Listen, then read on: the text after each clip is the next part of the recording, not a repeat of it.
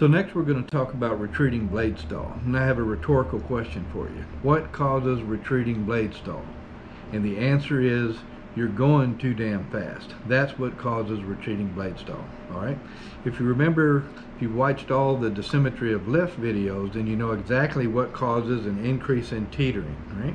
Anything that increases the teetering then makes the speed at which a retreating blade stall occur lower and lower and lower. So what are those things? Again, if you're heavy, you have a high gross weight, you're operating the aircraft at a high altitude or high density altitude, uh, if you're operating in turbulence, and then finally, if you overpitch the blades and get a and get a decrease in the blade RPM, that can do it. If you decrease blade RPM, teetering increases. Okay. Haven't really talked much about overpitching, but what overpitching is, if you were to come up on the collective, eventually you'll get to where the engine, the governors roll the throttle full open. And if you continue to come up with it, it's almost like taking your car to too high of a gear to lug down the engine. In this case, it lugs the engine and you lose rotor RPM. And again, the speed at which uh, a retreating blade stall would occur would be lower and lower if you have a loss of rotor RPM. Okay.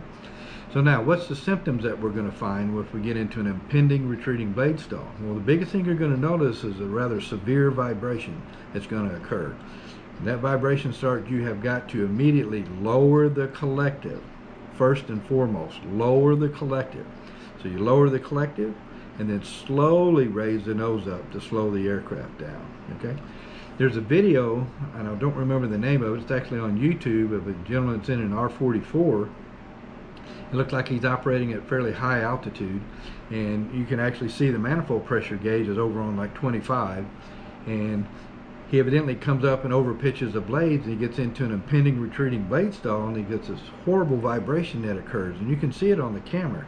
The aircraft's just vibrating like all all get out. He ends up losing quite a bit of altitude and then finally lowers the collective and as soon as he lowers the collective the aircraft recovers. It's back to flying again and he's actually able uh, to land the aircraft.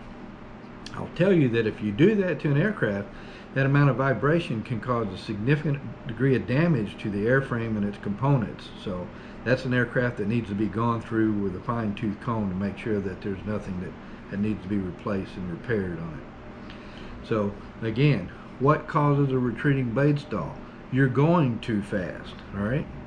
What's the, the symptoms of it are going to be that sudden vibration. You may get a, a slight up uh, up pitching on the nose as well because because what happens is the dissymmetry between the two blades is, is, is greater and you get more lift on this which rears its ugly head due to gyroscopic precession 90 degrees later and you'll get a little bit of an, an up pitch to the nose.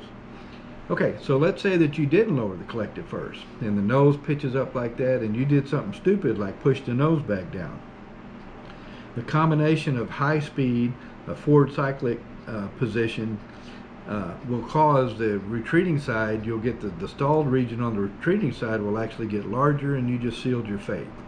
Usually you'll get the equivalent of a high-speed mast bump. The, the blades can come around, chop off the tail boom, and the aircraft can break it, break apart in flight. Let's say that instead of lowering the collective, you thought, well, slow the aircraft down, and you just raise, raise the nose up, even fairly aggressively raise the nose up. When you raise the nose up, that increases the angle of attack and that increases the amount of teetering and you just sealed your fate again. So it's going to increase the amount of teetering with the possibility of the aircraft actually breaking apart in flight.